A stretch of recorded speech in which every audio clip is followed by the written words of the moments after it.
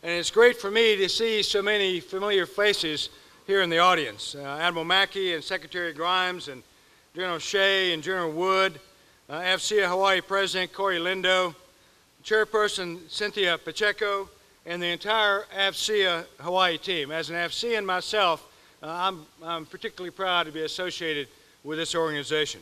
And a hello to some of my personal friends out there, uh, like uh, Joe Decker and Nick Carangelan, Gail von Eckersberg, and Mike Vitale, and a bunch of others. So it's great to see you all here also. And a special shout, out to the ROTC and JROTC cadets here. About 100 years ago, I was in the NJROTC in uh, Florida, so I, I have a lot of time for that program and for the cadets and midshipmen that are here. So thank you for all that. And I'm inspired by the fact that you all are here. So fellow flag and uh, general officers and distinguished guests and ladies and gentlemen, uh, as I start my remarks today, uh, oh, hang on for a second here. I may be, I may be missing my remarks. So Mike, can you, can you bring me the, the backup copy, please?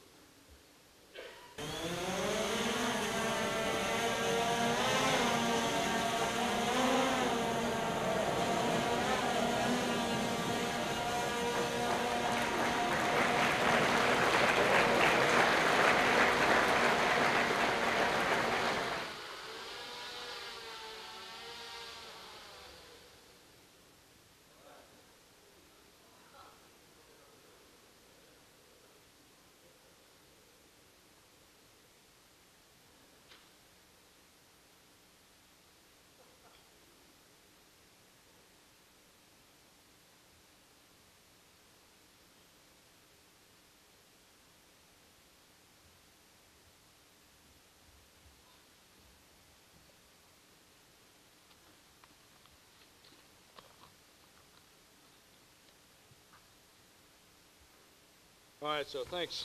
Thanks, Mike. Uh, ladies and gentlemen, that was a demonstration of our new UASDS system, the Unmanned Aerial Speech Delivery System. So Mike Elliott over there is a pilot of the quadcopter that you saw here. Uh, he works on the Pacific Fleet team and plans and policy shop. Thanks, Mike, for, for, for that, and you can talk to him after. So, ladies and gentlemen, there's a high demand for innovative use of new and existing technologies. Now, I admit there probably wouldn't be much of a demand for a speech delivering UAV, but there are companies out there that are looking to deliver books and packages, even pizzas, to your front doorstep with UAVs. Getting into the Christmas season, I understand that one restaurant is flying around mistletoe to get their customers in the mood. So if you see a UAV hovering over your head, you better either pucker up or get the heck out of the way. So commercial use of UAVs may seem risky and an unconventional idea doomed to fail, but stranger things have found their ways uh, into the mainstream market. Back in 1903, of course, Orville and Wilbur took a huge risk to try to build a flying machine out of bicycle parts, yet look where we are today. This year marks the 100th anniversary of commercial aviation. Now jet aircraft carry millions of passengers to their destinations every day, and some of those parts are not made by the lowest bidder, uh, but some are made by 3D printers. So there was plenty of risk in 1939 when Igor Sikorsky built a flying machine that had to be chained to the ground so it wouldn't flip over and kill him when he first tried to hover it. His factory workers called it Igor's nightmare, and today we call it a helicopter. Now, even as I speak, the USS Fort Worth, one of our newest littoral combat ships, is heading toward the Western Pacific. She's deploying with the MH-60 Romeo helicopter and a Fire Scout. That's an unmanned helicopter. The first time that that combination, uh, squadron combination with MH-60s and UAV helicopters, Fire Scouts, have deployed to this part of the world. Sometimes an unconventional idea can change the world, and that's something we're very good at doing here in America. After all, we worked and reworked aircraft design until we broke the sound barrier and we built our first transistors and microchips and put a personal computer on every desktop. Back in the 60s and 70s, we launched the satellite constellation into orbit, and today my car's navigation system tells me where to go. Though I have to admit, I don't use it that much because I've got Bruni, and she always tells me where to go. Uh, and of course, it was Americans who pioneered liquid-fueled rocketry and perfected it. Since then, we've sent men to the moon. And now with the Orion, that's not the P-3 Orion that I grew up with and loved, uh, but NASA's new big rocket that just launched, this generation of Americans has taken one giant leap closer to putting uh, humans on Mars. No doubt innovative Americans have been pushing the boundaries in every field of science and technology since our nation's founding.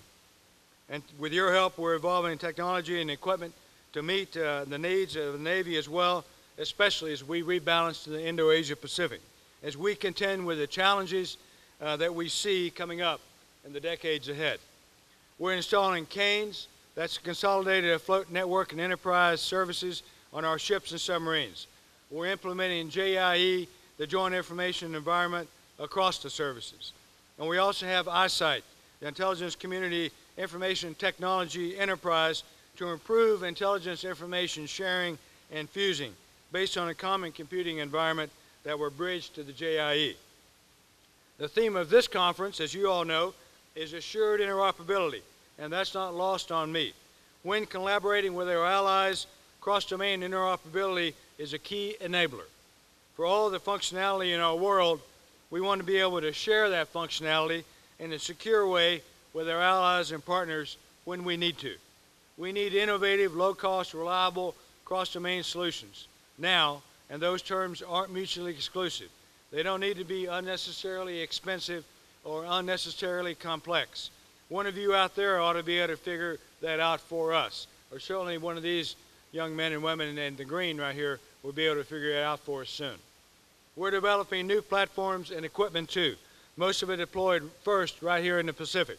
We've just commissioned the USS America, a new class of amphibious assault ship. There's also the new DDG-1000, and all three of these Zumwalt-class destroyers will be based in the Pacific. We're developing the railgun for use as an offensive and defensive weapon, and we're encouraged by the ongoing tests of our laser weapon system, or LAWS, out there in the Persian Gulf. It's a directed energy weapon installed on the USS Ponce. Our CNO, Admiral Greenert, visited the Ponce for a demonstration, and he said if he could miniaturize it, he'd put it on every ship. And I'll add that by saying the price tags has got to be miniaturized also. No doubt our Navy has benefited from America's pioneering innovations. We certainly know that, but so does everyone else. Maybe that's why our competitors have always sought to obtain American intellectual property, legally and illegally. It's easier to copy than it is to create.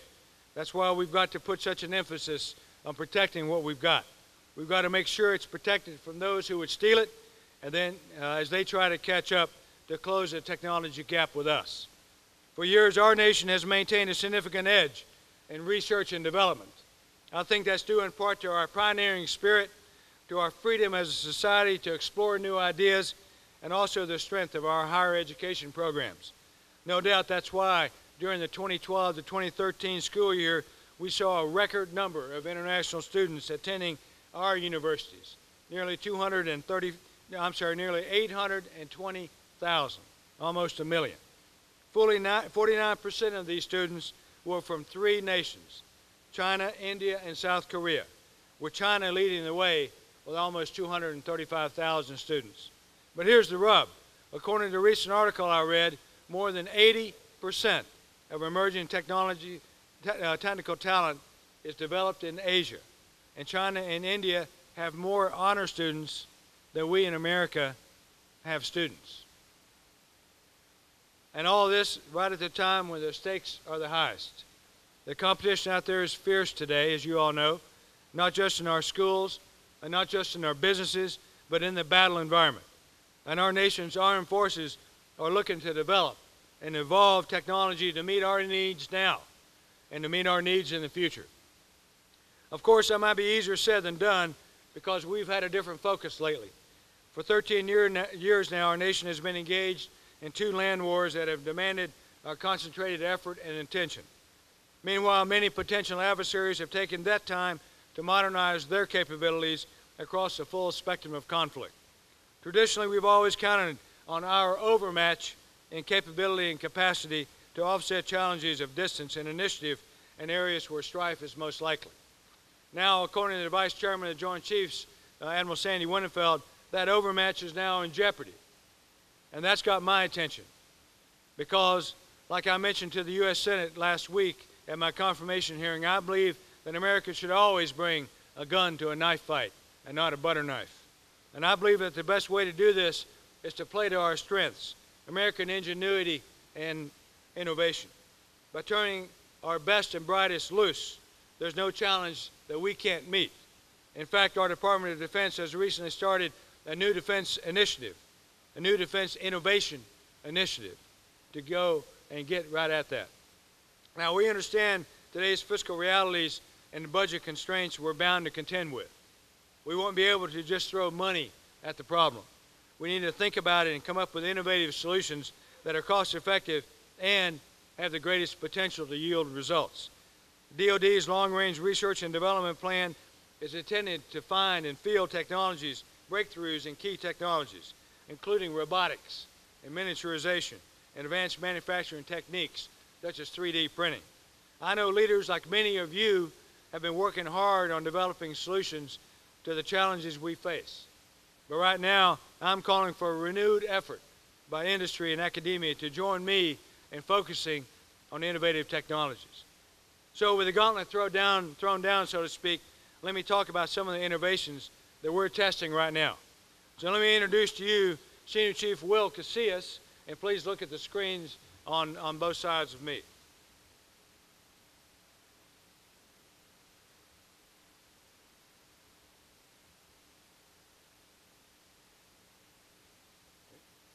So Senior Chief Casillas is demonstrating one such advancement called augmented reality and how our technicians today are able to, to uh, leverage uh, that technology. So you're seeing on those screens what he is seeing through uh, these goggles. He's going to hold the goggles up like he is just to make the demonstration go a little bit easier. What you're seeing on the screens is what he is seeing as he approaches an electronic assembly. Here, the augmented reality system is essentially overlaying the tech manual right on top of the electronic assembly, guiding Senior Chief through his maintenance routine. Augmented reality is already helping us train our technicians, and in some cases, apprentice tradesmen, for instance, a welder or a pipe fitter or machinist can perform tasks at the level of a journeyman, and a journeyman can perform tasks at the level of a master. This could allow the Navy to reduce tra the training pipeline costs in terms of both dollars and time, especially for skills that are needed infrequently, such as when we're working on legacy equipment. Augmented reality may also improve our decision making and teamwork by providing information in a format that's easier to understand precisely when the operator needs it. Imagine the ability of four watchstanders to put on a pair of these glasses and fuse all the data from all the sensors into a heads-up display. Now every watchstander can be a fighter pilot without leaving their desk or watch station. And I, for one, see a lot of potential in this type of technology. Thanks, Senior, for that introduction and that demonstration. Of course, you can get a lot of help from the internet these days as well. Recently, I found a YouTube video on how to change a tire on a pickup truck. Now, I know where you're thinking, how hard can it be to change a tire? Well, in this particular model pickup truck, I won't name the model, it's almost impossible to get it to spare without knowing how to beforehand. So online here, there are dozens of these homemade YouTube videos that walk you through the process of how to change that tire on that pickup truck. Now the cool part is you can kind of figure out which video is the best by finding the one with the most views. So one at the top there has got 435,000 views, and one on the bottom has got 40,000 views. The real value here is, is not just learning how to change the tire. It lies in technology's ability to harness the collective wisdom of crowds, multiplying the ingenuity of one enterprising individual to help others up the learning curve, if you will. I know our sailors are pretty ingenious as well. They're as innovative and tech savvy as the next person. How can we harness all the experience and talent that resides with our sailors to better the entire fleet. Well, some of them have signed up to be part of the CNO's disruptive thinking group, known as the CNO's Rapid Innovation Cell, or CRIC, and doing it on their own free time. So that's a start, but how else can we leverage our sailors to get things done in the Navy better, faster, and cheaper. I'm looking for ideas, and I think I've come to the right place. And is there a way that we can leverage the wisdom of crowds other than our own sailors? I think so, and the obvious way is to evolve the technology that already exists to meet our needs, and we're starting to do that. So let me show you something else here. So right here, this is a mil-spec control box to operate one of our periscopes in a nuclear submarine. That's pretty cool. With the interface box, it weighs about 10 pounds. Of course, that feels closer to 100 pounds after holding it for an hour or so, but submariners don't have much gym equipment, so it doubles as a barbell. and let me tell you that this thing is cheap, too. We got this one for an incredibly low introductory price of $120,000. That's pretty good stuff. Now I want you to look at this. Y'all know what this is, especially these folks in green over here. This right here is an Xbox controller. It's a common game controller that you can buy off the internet for $9.99. It weighs a whopping 10 ounces, light enough that even my pencil thin arms can carry it around for an hour or so. And the really cool thing is we've adopted this in the real world on submarines to replace this. Wouldn't it be great if we could use more of this kind of thinking throughout the DoD and DON today? I think so. But it can't be a slow process like we're seeing with those 3D printers. We're just now getting serious about this technology that, for goodness sakes, has been around since the 1980s. I understand our Coast Guard brothers and sisters have 3D printers on their ships, and they're using them today to print spare parts. The other day I read that NASA did its first 3D printing on the International Space Station. And this technology has certainly come a long way. There are companies printing highly complex fuel nozzles with dozens of moving parts for jet engines that are flying you and me today, that are flying many of you back to the mainland today or tomorrow. So where's my 3D printer? Well, there's certainly demand for them in the Navy, I can tell you that. Adapting technology for our own uses is important to us, and it's a trend that's not going to end anytime soon. you know, I had to ask my aide to put a bottle of water up here, and I don't see any here.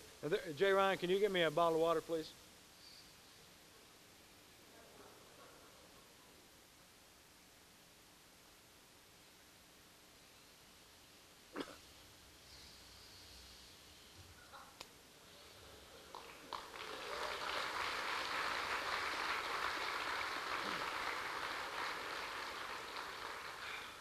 Pretty cool, huh?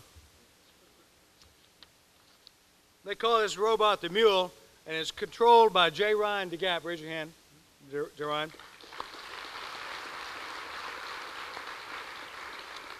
It was developed by students at Leilehua High School here in Hawaii as part of their after-school robotics program.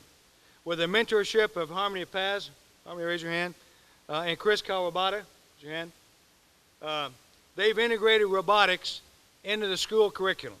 Now, I know that's no small feat, and I salute both of you and all of you uh, for your efforts to advance STEM uh, education in our schools here in Hawaii. Maybe you've not had an opportunity to check out their exhibit upstairs, but if not, come up here and check out the mule when we're done. And one thing I want you to notice is that the controller Jay Ryan was using was one of these, not one of these. You can never control that robot with one of these, but you can control it and a whole bunch of other stuff with one of these. There's a lesson there, I think. Thanks, Jay Ryan, and thanks, Ms. Paz and Mr. Kawabata.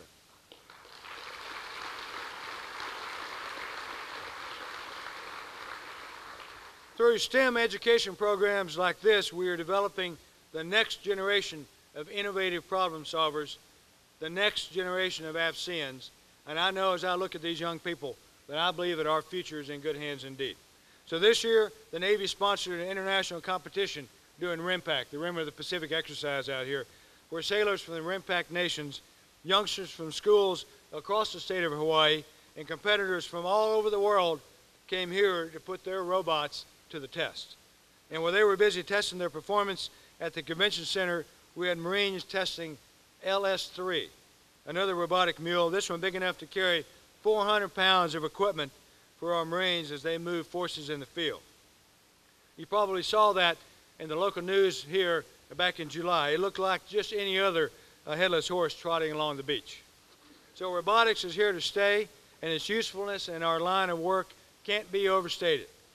The technological advances we're making today are what will give us the edge in the battle environment of the future. But there are still hurdles that we've got to get over to get to the maximum use of it. Take, for instance, all the high-tech personal electronic devices that we have access to. What do you have on you right now? You don't have to show me. I, am sure you've got a cell phone, an MP3 player, maybe a tablet, or, or, or a, how about one of those newfangled watches, like the name brand I want to mention, uh, watch, and all of that. It's powerful technology that we live with, that we work with, and that we take for granted. But do you know that in my headquarters, in fact, in most places in the Navy today, I can't use most of that technology. It's simply not allowed in the buildings where I work.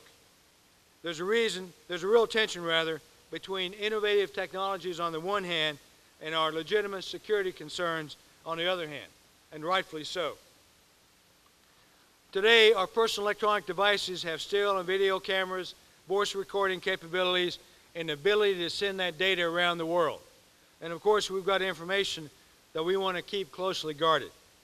So bringing these things together in the same room involves risk. And truly assessing that risk, truly assessing that risk, especially considering how fast innovation evolves and how complicated it is and how many different types there are, requires a lot of brain power. It's easier to make a blanket policy that prohibits all of it, but that's the wrong policy. And yet there's so much value in the technology that it seems we're missing out on some real capability that we could be using to do our jobs better. Real capability that our adversaries, such as ISIL, they're using today. So what's the solution to that? The commercial solutions for classified process enables commercial components to, to be used in layered solutions to protect that classified environment. The National Security Agency is using it now, uh, providing the architecture, the component criteria, and configuration to meet IE standards and requirements. Is that the solution? Is it a new device? Is it a new set of rules? Or maybe a new mindset?